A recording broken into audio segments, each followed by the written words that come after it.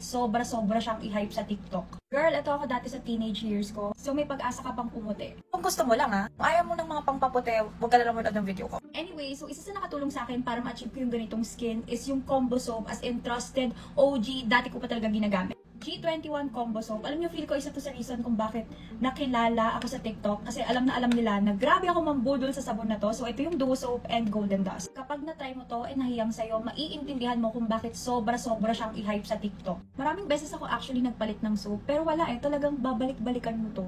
Ang ganda niya talaga, te. So, itong si Duo Soap, pansin ko dito, more on whitening yung effect niya. And okay din siya sa acne. Kung wari meron kang acne or even sa face, okay siya. Pero ngayon, sa body ko na lang talaga siya ginagamit. Ito naman si Golden Dust. Ayan. Girl, ang bango-bango na tong sabon na to para siyang may perfume tapos nakaka-glass skin siya. Yun yung effect niya. Kaya kung ikaw, naghahanap ka ng sign para itry tong dalawang to, ito na ate.